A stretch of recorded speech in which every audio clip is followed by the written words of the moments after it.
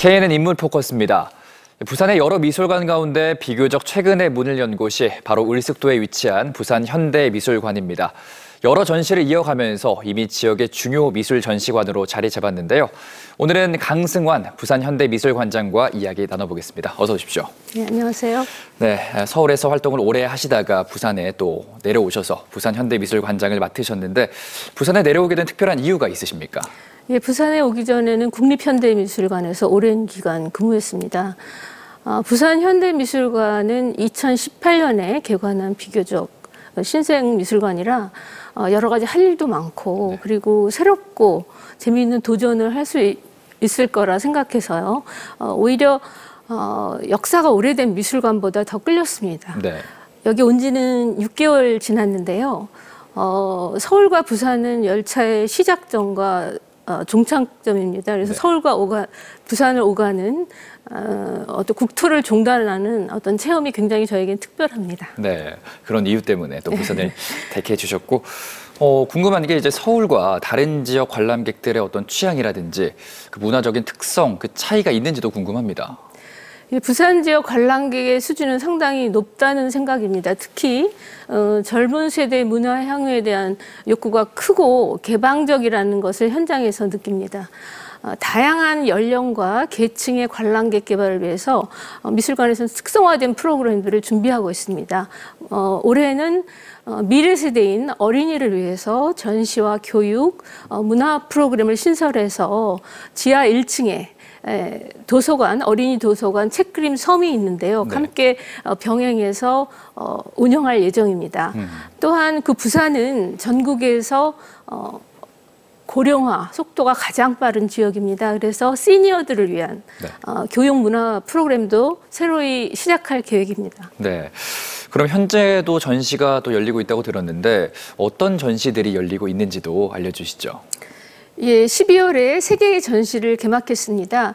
어, 전시는 현대 사회의 불확실성, 생태 그리고 어린이 주제 등 어, 동시대 우리가 공감할 수 있는 그런 내용으로 구성했습니다. 우선 어, 친숙한 기이한이라는 제목의 전시는요.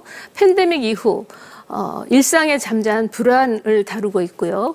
그다음에 그 어, 누구의 이야기자는 어, 나와 타인의 이야기가 공동체 이야기로 연결되는 경험을 제공합니다. 마지막으로 네. 포스트 모던 어린이전이 있습니다. 이 전시는 부산 현대미술관에서 최초로 개최하는 어린이 주제전입니다. 네. 어, 훈육과 기율의 문제를 어린이라는 존재를 통해 살펴보는 전시인데요. 어린이 전시지만 어린이와 어른이 어른 모두를 위한 전시이기도 합니다. 네, 뭐 주말 맞아서 가족 단위로 참석해봐도 좋을 것 같고요. 네. 그렇습니다. 내년까지 임기라고 들었습니다. 어, 임기 동안 꼭 하고 싶은 전시가 있다든지 혹은 뭐 부산현대미술관에 원하는 변화가 있다면 어떤 것들이 있으십니까? 예, 지금 준비하는 전시는 현대 미술의 어떤 새로운 담론을 생산, 어, 공유하고 확산시키면서 어, 동시대성을 선도하는 내용입니다. 올해부터 어, 부산 현대미술관 시네미디어 또 부산 현대미술관 플랫폼이라는 두 개의 전시를 어, 정례적으로 개최하게 되는데요. 부산 어, 시네미디어 저는 어, 경연제로 전시를 통해 어, 다양한 영화 매체를 어, 보여줄 예정이며 올해 주제는 어, 영화의 기후입니다. 네. 그리고 부산 현대미술관 플랫폼전은 어, 연례전입니다. 환경과 생태를 주제로 어, 다양한 분야의 전문가들이 제안한 협업 프로젝트를 어, 공모전 형식으로 선정해 전시하게 됩니다. 어, 미술관의 정체성은 결국 콘텐츠가 결정하는 것이고요. 이 프로그램들이 앞으로 부산 현대미술관의 시그너처 프로그램이 되기를 기대합니다. 네. 서울이나 수도권과 또 차별화시키면서 부산 현대미술관의 발전을 하는 게 또 필요해 보이는데 어, 전시 분야의 격차를 줄이기 위한 노력들 어떤 것들이 있을까요? 예, 중장기적인 로드맵이 필요합니다. 어, 그래야 콘텐츠의 수준과 어, 일관성을 유지할 수 있습니다.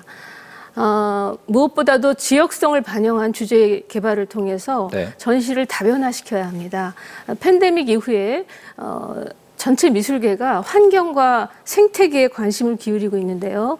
부산 현대미술관은 어, 입지 환경 자체가 생태공원 을, 숙도입니다 네. 그래서 음, 환경, 생태, 어, 기후 주제에 집중한 중장기 프로그램을 개발해서 미술관의 정체성을 부각시키려고 합니다. 결국 어, 국제적으로 공유할 수 있는 지역의 문제를 발굴하고 이를 대내로 확산시킨다면 지역 미술관으로서 어, 잠재력을 충분히 발휘할 수 있다고 생각합니다. 네.